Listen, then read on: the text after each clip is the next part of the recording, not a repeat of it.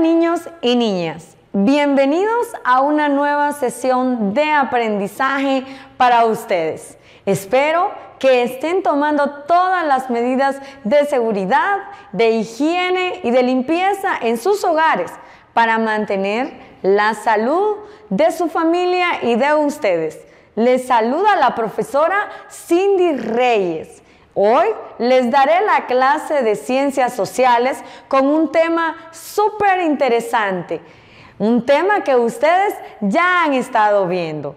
En esta ocasión aprovecharé para compartir un repaso, un repaso de lo que anteriormente ustedes estuvieron viendo con sus profesores. ¿Cuál es este tema que vamos a compartir hoy? Hoy veremos el repaso de los tres poderes del Estado. Recordemos cuáles son. Muy bien, recuerden ustedes en casita.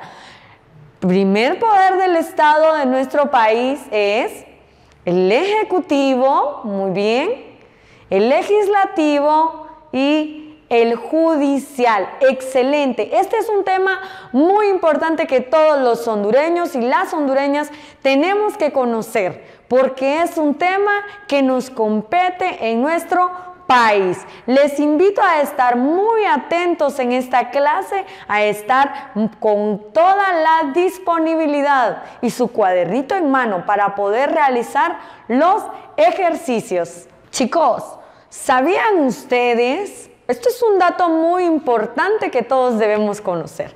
¿Sabían ustedes que la Constitución de la República de Honduras de 1825 fue la primera Carta Magna? ¡Wow! Ese es un dato súper importante de nuestro país que todos debemos de conocer, no, por, no debemos perdernos esta clase, porque además recordemos un poco de lo que hablaron con sus maestros. Los tres poderes del Estado son independientes y eso no debemos de olvidarlo. Cada uno es actúa de manera diferente según sus funciones, pero no por ellos significa que, que van a estar separados. También son complementarios. ¿Por qué? Porque las decisiones que se toman en el Congreso las van a ejecutar también el Poder Legislativo y también el Poder Judicial va a velar porque estas leyes se lleven a cabo. Y es que eso es lo más importante y súper interesante de este tema. Además, recordemos que ningún poder del Estado está por encima del otro. Significa que los tres poderes del Estado tienen autonomía y cada uno ejerce sus funciones. Ninguno está por encima del otro. Es decir, todos son importantes, pero cada uno ejerce sus funciones propias. Pero muy bien, recordemos cuáles son los tres poderes del Estado. Vayan, díganle a su papá, ustedes ya se lo saben, díganle a su papá y a su mamá los tres poderes del Estado. A ver, el número uno, poder ejecutivo, muy bien. El número dos, poder legislativo. Y el número tres, pero no por ser número tres, deja de ser muy importante, el poder judicial. Cada uno de estos poderes ejerce una función importante para todos los hondureños y las hondureñas de nuestro país. Por eso todos necesitamos conocerlos. ¿Qué hace el Poder Ejecutivo? ¿Qué hace el poder legislativo y qué hace el poder judicial? Ustedes ya lo saben. Por eso lo van a escribir en sus cuadernos en una lluvia de ideas con gotitas. Hagámoslo en su cuaderno y coloreémoslas. Van a escribir qué hace o qué saben ustedes de cada uno de estos poderes, porque ya los vieron en la clase anterior. Excelente chicos, lo están haciendo muy bien en casita. ¿Ya escribieron en su cuaderno y lo colorearon bonito? Si no lo han hecho, lo vamos a ir haciendo en el transcurso de la clase, porque es muy importante que nosotros reforcemos nuestros conocimientos y lo repitamos, digámoselo a mamá, digámoselo a papá, cuéntenle a sus amigos, a sus hermanos que estén cerca cuáles son los tres poderes del Estado. Y no es que tengan un poder para sobrenatural, no, son poderes que nos ayudan a nosotros, los hondureños, a mantener estabilidad en nuestro país, a mantenernos. Pero vamos a empezar hablándoles sobre el poder ejecutivo. ¿Cuál es el poder ejecutivo? Y ustedes ya lo vieron, pero vamos a decir, el poder ejecutivo es aquel que está regido o que se rige por el presidente. A ver, ¿cómo se llama el presidente de Honduras? Recordemos. Díganme ustedes.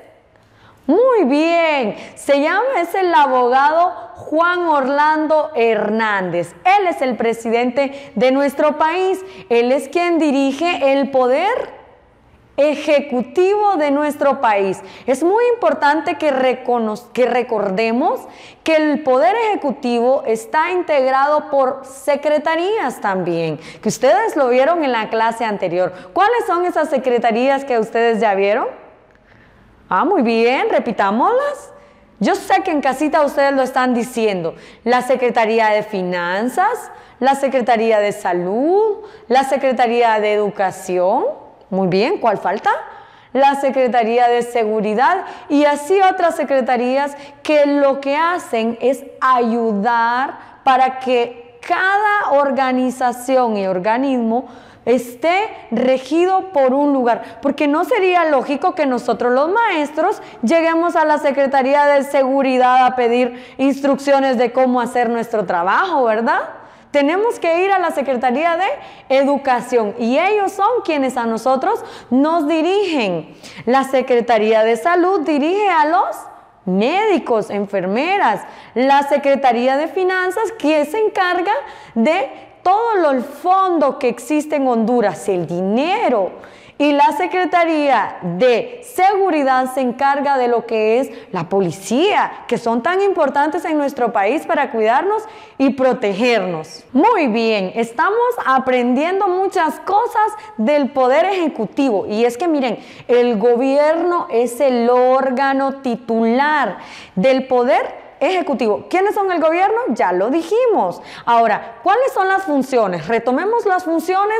Básicamente son dirigir. ¿Qué dirige? La política interior y la política exterior de nuestro país. También dirigir lo que son la administración civil y militar de nuestro país, la defensa de nuestro Estado, porque eso es muy importante. Nuestro presidente se tiene que encargar de dirigir muchas cosas, de tomar muchas decisiones y además también puede aprobar normas jurídicas que no sean leyes pero que no sobrepasen también lo establecido en las leyes. Eso es un dato muy importante del poder ejecutivo. Pero ahora bien, hablemos de otro poder que es muy importante y que yo sé que a ustedes les gusta, que es el poder legislativo. ¿Saben ustedes que el poder legislativo es uno de los poderes que nosotros, el pueblo, elegimos? ¿Por qué será? Ajá, entonces, el poder legislativo. El poder legislativo es uno de los que a ustedes les gusta mucho. ¿Por qué? Porque es uno de los poderes que nosotros, el pueblo hondureño, elegimos. Pues, ¿Cómo así, profe? ¿Cómo así que nosotros elegimos? Bueno, este es el poder que representa en las Cortes Generales que está formado por cámaras. ¿A qué se refiere? Cámaras de diputados o el Congreso de Diputados y por un Senado. ¿Cuántos diputados hay en el Congreso? ¿Alguno de ustedes sabe? A ver, preguntemos. ¿Cuántos diputados será que elegimos en nuestro país para que vayan al Congreso a representar al pueblo hondureño? Ah, yo creo que ya saben cuántos son. Muy bien, son 128 diputados que se eligen en todo el país para representarnos, pero estos diputados se eligen de acuerdo a la cantidad de población que hay en el departamento, ¿verdad? Cada departamento tiene una cantidad de diputados que representan en el Congreso Nacional. ¿Y ellos de qué se encargan? Porque ellos son el poder legislativo. Ellos se encargan de crear, de modificar, leyes para que todos los hondureños podamos salir beneficiados de estas leyes que ellos crean. Según la Constitución, en 1978, el Congreso Nacional se concibe como una Cámara de Representación Popular. ¿Cómo así? Mientras que el Senado, ¿qué es el Senado? Es una Cámara de Representación Territorial. Por esta razón, el número de diputados que se elige proviene de acuerdo a la región y al territorio. Copán, por ejemplo, ¿cuántos diputados tiene o nos representa en Copán? Tenemos siete diputados que nos representan en el Congreso Nacional. ¿Cuántos diputados nos representan en sus departamentos? Investiguemos, conozcamos más de lo que es el poder legislativo y ellos tienen la obligación de crear leyes a favor del pueblo. Eso es muy importante. Pero ahora nos falta un poder que recordar. ¿Cuál es este? A ver, ayúdenme. Ajá, muy bien, el poder judicial el poder judicial. Nosotros hablamos mucho de justicia. Ellos representan la justicia de nuestro país. Necesitamos reconocer y aprender qué es el poder judicial. Entonces, este está ejecutado por un juez, está encargado por jueces, pero más bien por 15 magistrados. 15 magistrados y jueces que se encargan de toda la parte judicial de nuestro país. Dichos procesos, de modo que aplican las leyes. El hondureño o la hondureña que no cumpla con las leyes, el Poder Judicial hace que, bueno, nos castiga o nos hace que cumplamos las leyes, ¿verdad? Porque esto es muy importante. Y según la Carta Magna ¿Cuál es la Carta Magna? Ya lo hemos dicho. La Constitución de la República. Según la Carta Magna, la justicia emana del pueblo. Pero la administran quienes? La administran los jueces en nombre de la ley. Y estos jueces deben de ser independientes inmovibles y también responsables de someter únicamente al imperio de la ley. Ellos no pueden decir el juez porque me cae mal esa persona yo voy a hacer. No, no, no. Debe de ser muy imparcial y debe de actuar conforme a la ley.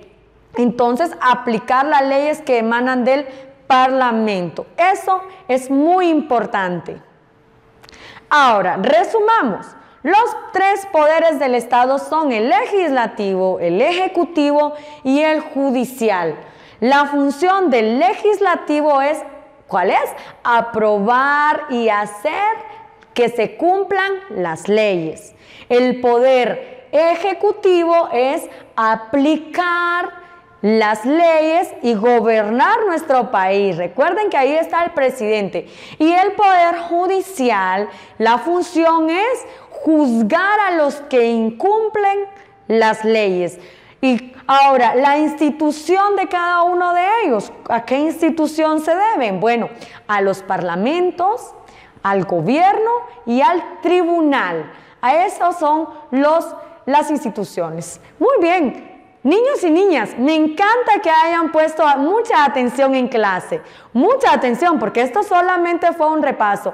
Vamos a terminar ya el tema, pero vamos a ver un video que nos va a encantar. No se lo pueden perder. ¿Cuáles son los tres poderes del Estado y por qué están separados?